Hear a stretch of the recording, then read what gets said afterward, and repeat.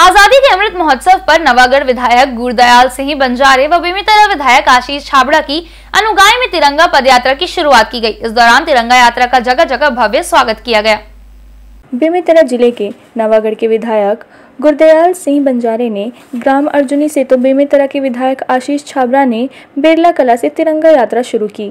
विधायक छाबड़ा व बंजारे ने बताया कि प्रदेश कांग्रेस के आह्वान पर यह यात्रा शुरू की गई है। जो 14 अगस्त को कुल 75 किलोमीटर का सफ़र कर बेमेतरा जिला मुख्यालय और नवागढ़ बस स्टैंड पहुंचेगी। बनाने जा रहे हैं। आज़ादी के हरित महोत्सव में पचहत्तरवीं वर्ष गार्ड के रूप में ऑल इंडिया कांग्रेस कमेटी के द्वारा विभिन्न किस्म से कार्यक्रमों का आयोजन किया गया है। उसी कार्यक्रम का ये हिस्सा है कि पचहत्तर किलोमीटर पद यात्रा करके आज नौ तारीख से चालू करके चौदह तारीख अंतिम दिन विधानसभा के मुख्यालय में बेगेतरा के गांधी मैदान में इस पदयात्रा का समापन होगा। भारत माता की। माता की।